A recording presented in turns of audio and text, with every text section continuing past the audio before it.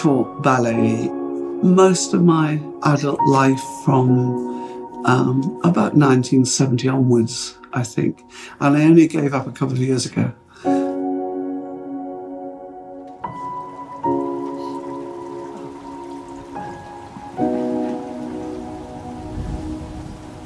Dance yields a sense of transcendence, takes us out of ourselves. It directs our attention to all sort of dimensions of life, which perhaps I think can't be expressed in any other way. It's exhilarating. I mean, what's exhilarating about a lot of theology? Absolutely nothing. But here's something which a resurrection body might enjoy.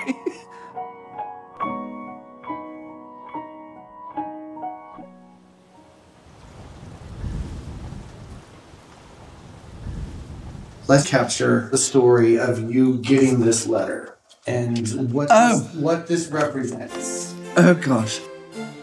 The Queen has an honours list twice a year, and I never paid any attention to it. And as it happened, I get this letter through the post one morning.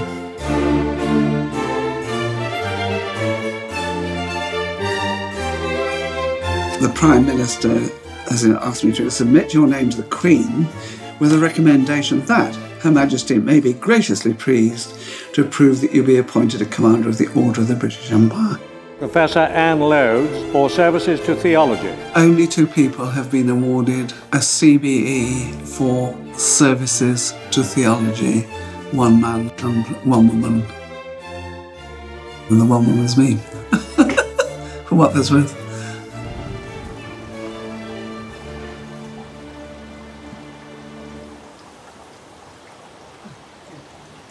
The world's very complex and very difficult.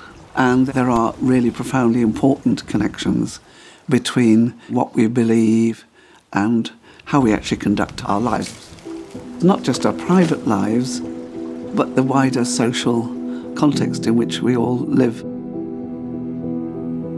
There were very few women employed in universities when I got my, my job. And you just have to put up with some of the clergy being abominably rude.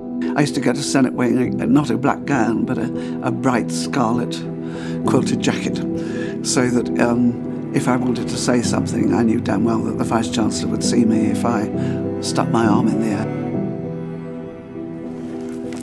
I suppose I just learned that I might as well get my voice and my opinions heard, because nobody else was going to say it, probably. And they didn't. How has the pursuit of theology, all the gender politics, influenced your own connection to God? Well, I mean, there were clearly huge deficits. You have to realize I was a loner. I wasn't part of a web, a network of any kind. So if I walked out on the church, it was going to be a hard row somewhere, and I didn't know where. But you had two choices, really. Either you said the hell with it all, or you hung in and tried to find why it was that people of all kinds, ages, shapes, and sizes, including lots of women, had in fact found their resources within the Christian religious tradition. You wrote, the Christian tradition is in its own way responsible for the devaluation of women, and that that tradition, however, nevertheless contains resources for its own transformation. What are those resources? Um, well, things like the language of human persons being made in the image of God, actually paying attention to the actual lives of women who are, in many contexts, incredibly uh, resourceful and constructive and cooperative and helpful to one another and to all sorts of other people. But if you if you stick with the view that women are dim-witted, stupid, not worth educating, not worth worth paying attention to, and therefore all necessarily subordinate to men, you're not going to get very far. You have to have different kinds of expectations and work your theology, it seems to me, from, from that.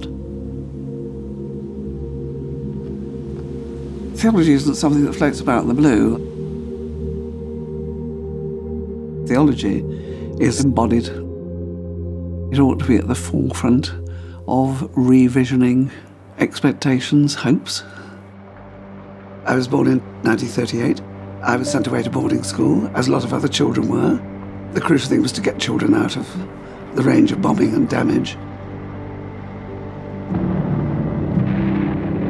We were very poor.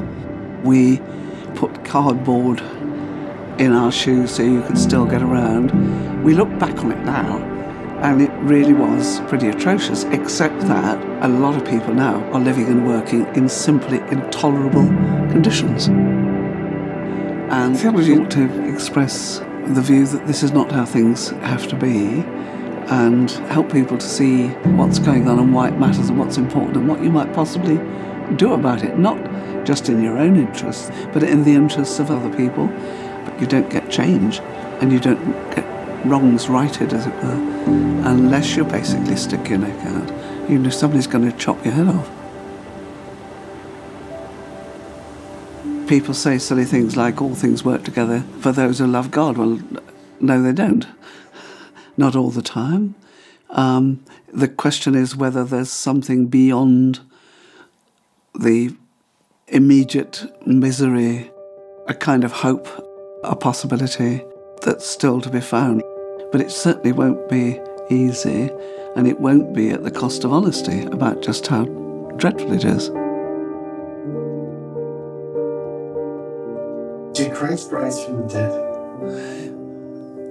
Did, was Christ raised from the dead is the correct way of uh, doing this. And if one can make any sense of um, Christ's resurrection at all, um, it has something to do with um, God's blessing beyond everything we can I- imagine. Um, and you might get glimpses of it in all kinds of ways. I mean, I remember a few months ago looking up at the sky and seeing this absolutely glorious sunset and thinking, well, in a sense, you know, at some point or other, I could be part of that. And that might be enough. It doesn't have to be me clothed in bones uh, um, and, and uh, old legs and feet anymore. It could be something much more, much more enticing, if you like.